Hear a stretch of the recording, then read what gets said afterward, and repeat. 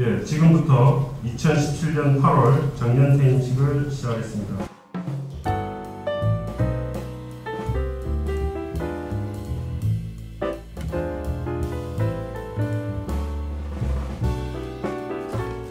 오늘 정년을 맞으시는 어, 존경하는 허미영 교수님 그리고 임대순 교수님 오늘 이 자리에 이렇게 함께 해주셔서 진심으로 감사합니다.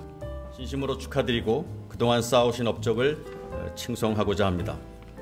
두 분 선배 교수님이 헌신적인 노력과, 노력과 학교에 대한 사랑이 지금의 자랑스러운 공과대학을 말- 만들었고 세계 속의 고려대학교를 이루어 놓았습니다. 어, 그동안 저를 서포트해 주신 우리 과의 교수님들 감사합니다. 그리고 다른 과에 있는 교수님들도 정말 감사합니다. 어, 저를 항상 따뜻한 사랑으로 어, 평생 돌봐준 우리 가족들한테 감사를 드리고 특히 저를 많이 사랑해준 우리 와이프한테 고맙습니다. 저는 7학번입니다. 그래서 45년 동안 고려대학교로부터 엄청나게 많은 은혜를 받았습니다. 앞으로는 앞으로는 꼭 그 은혜를 갚는 노력을 많이 하겠습니다. 다시 한번 와주셔서 감사합니다. 고맙습니다.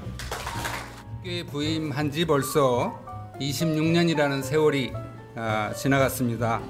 26년이라는 세월이 결코 짧은 시간은 아니었지만 내가 처음 학교에 온 것이 엊그제같이 느껴지는 것은 아, 세월이 유수 같다는 그말 실마 아, 실감하고 있습니다.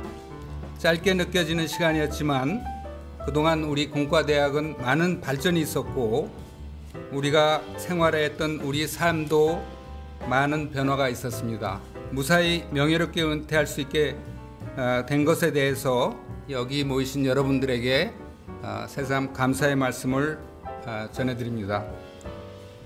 또한 재직 중 많은 일, 어, 일을 도와주신 그 신소재공학부 그리고 나노반도체 공학과 어, 그리고 반도체 기술 연구소, 녹색 생산 기술 연구소에서 많이 도와주신 여러분들에게 진심으로 감사의 말씀을 전해드립니다. 유학 시절부터 지금까지 편안하게 어, 큰 힘이 되어준 여기 자, 자리를 참석하지 못한 우리 아내하고 아들 딸들에게도 이 자리에서 감사의 말씀을 어, 드립니다.